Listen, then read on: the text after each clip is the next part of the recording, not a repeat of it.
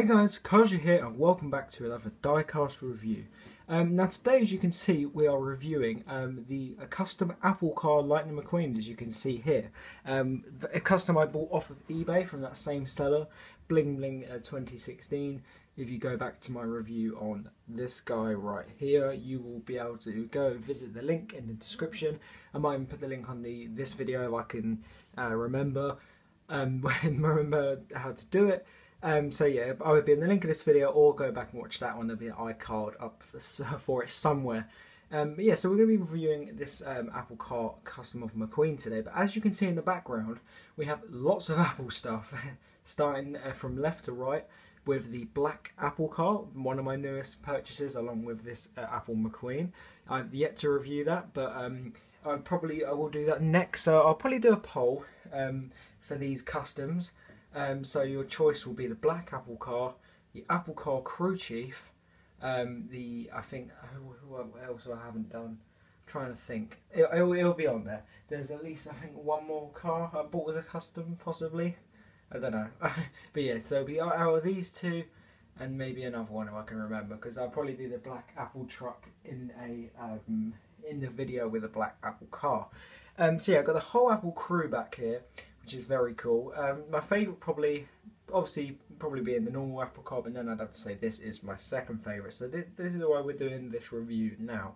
Um, so yeah, like I said, there's no ever official Mattel release for this car. Um, it's just, oh, well, it's not even a, a factory custom. It's just, you know, it was just someone thought of the idea, got the decals and made it, or made the decals himself. You never really know. Um, but yeah, it's based on the Cars 2 model of McQueen, as you can see here. Obviously, because we have his spoiler there and all that kind of stuff. Uh, lots of people do have this one. I've seen lots of people all over, like all over the world, pretty much have these customs because obviously they come from China and then people just buy them anyway. So it's not like it comes from one country and that's it. You know, loads of people have them. I'm sure lots of you watching probably have at least one custom bought from somewhere or if you don't, you probably can get one easily. Um, before I take these cars off the back, I'll just show you uh, show you the cars quick that you can vote for. It's the black Apple car. It wasn't in the film, I might add. Uh, Apple car pickup. Very nice. And I will just show you, we have the cab here, which you guys would have seen in the review of this guy. Very nice indeed. Alright then, so let's get on to the uh, proper review of this car now, as there's not a lot to talk about here really, because obviously he's custom and all that. Um, it does look like there's, like you can probably see there's like a line there. It looks like they've put a mouth, a, a, like a bit of metal, a mouth on it, like sticks out. There's like a square. If I bring this closer, you guys can probably see that there. You can see the line going up and like a square, so I don't know what that's really about. You can only really see it there, but it looks like they've just stuck something on him. I'm not too sure what it is. Um, now, I'm obviously not part of the review of the car, but um, here's Steve Jobs. He is, uh, I'm not sure one of the co-founders, but he is the, he was the CEO of Apple, and he also um, was the owner of Pixar at one point when he was fired from Apple. Obviously, before the way I don't even know if he was the CEO at that time or not. But as you can see, 1955 to 2011. I'm not sure if he owned Pixar at the time of Cars being released. I'll have to research that when he owned Pixar. He may have even owned it right up until he died. I don't know, or was maybe at the head. I don't know. Maybe you guys do, and you could tell me that down in the comments below. There he is on the side. Um, but yeah, um, as you can see, obviously at the front, McQueen has this mouth, like I said, which is very peculiar. Don't really know what's going on there. He has his two real lights because obviously you guys know in Cars 2 uh, he got, um, or if you don't know, I suppose you may not have seen it, um, he did get two working headlights opposed to his um, Cars 1 variant where he had fake stickers. Um, and obviously in Cars 3 we saw he still kept them lights as well. I'll show you fabulous line McQueen there to contrast and compare. Um, now, as we go onto the hood here, we have his um, hood pins. They're not bumps; they're just um, like stickers. There's no actual metal bit they go onto. And here we have the Apple logo. Very nice. It's kind of like a metallic glisten to it. You can also see the outline to his hood as well. You can have, you see his eyes here, and you can just barely, if I do that, you might be able to see the line shine over his eyelids.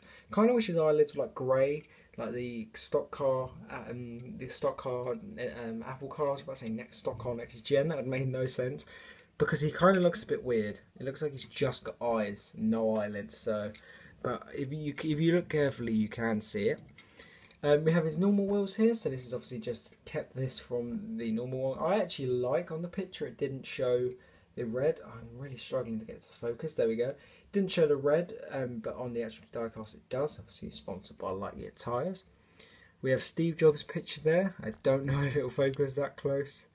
Probably not. No, but there you go. You can see there. Steve Jobs, 1955 to 2011. Very cool.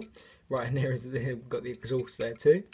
As we go up to got 95, which is facing this way, which is funny. As you guys know, most racers have it this way. I'll give an example there. We've got Doug Frosselman and Buck Bearingly here as well, number 39. And um, this, the next gens have it as well, but they're this way. So it's funny how they've done the number that way, but it's cool, it's different. And you can also see his roof flaps underneath as well. I'm not sure if this is an actual McQueen or is this is a custom mould, because some things do look a bit different, like them roof flaps. So I don't, mm, I don't know. And I'm sure these lines go longer, so I'm not too sure. These windows you can kind of see through as well. You can see my finger, which is cool, I guess. Sorry about that. Um, we have his gas cap here, which is actually in the right place. Something Mattel don't really find very easy to do. You can like run your finger across. Um, we also have his white window slats here with the spoiler, which is very cool. I love how they do like the, the, the, sort of the bolts on it as well, with a little Apple logo. And on the back is very cool too. It says Apple Incorporated, the 95. That's the only way, um, place we see that World Grand Prix logo. Um, and it's got American flag all in grey, and we have two lights with the Apple logo in front. Uh, I suppose I'd like to think of this as not as a McQueen as such, as an Apple special Apple racer in the World Grand Prix. This is what I would use it for personally. Maybe I'll use it in one of my um, Radiator Springs Stories episodes. But um, yeah, maybe comment about down below if you think that's a good idea. I think that'd be quite um, cool to do. Uh, we, we have this gas cap on the other side as well. Yeah, I don't think I've actually noticed that before. That actually makes no sense. So you have two, but okay. And once again, we have the Steve Jobs logo, not put all the way on the end there because I can't see any white. Oh well. And he has wheels as well. This side's a bit more straight and perfected than this side, but that doesn't matter. Uh, as we go on to the base, we have Disney Pixar made in China, although it's got nothing to do with it. This here, which I'm sure wasn't on the original model. We have its diffusers at the back here, its exhausts. But no, it's a very cool diecast. very cool indeed. I have um, I have uh, I'm trying to think of the word. It's very they're very good at what they do. These custom makers. So um, I sort of like applaud you for your work, whoever you are out there. I don't know if the seller is the person who makes the customs. People like Jim Scavenger, he, he sells them and he also makes them. So I don't know if they make them themselves or they buy them off of someone they know or just just at random. You never know. Um, yeah, the seller is, is, really great. I would recommend buying off of them. I've got quite a few cars from them now. All of them have been customs, um, but apart from, yeah, but just pretty much he's just a good seller to be honest. I don't really know what else to say about them, So I'll probably find the link in this video somewhere uh, to put at the top. And uh, also, if you're still, oh, okay, if you're still watching, I know I haven't been doing many normal reviews recently. The channel's kind of been a bit mixed match, but I think you guys have still been enjoying the content anyway. At least I hope you have gone up three subscribers, I think, in two days, which is very cool. It went up to 220 and then just shot up by three in a matter of like a day or two, day and a bit. So thank you guys for that. Um, also, I'd like you to comment if you're new as well. I'd like to see who's recently joined because I know quite uh, like a few of my people, but not everyone. So just comment who who like if you've just joined or or how long you've been subscribed for or something, just so I can say hi. And to, if you visit the live streams, that's a good way to interact as well. Some of my viewers, um, we um, go on the live streams a lot. I know them the best. Anyway, guys, thank you for watching this review on um, the Apple Car Lightning McQueen Custom. I hope you all did enjoy. And um, that's pretty much it for the video. As always, guys, make sure to like, subscribe, turn on my post notification bell so you never miss another review.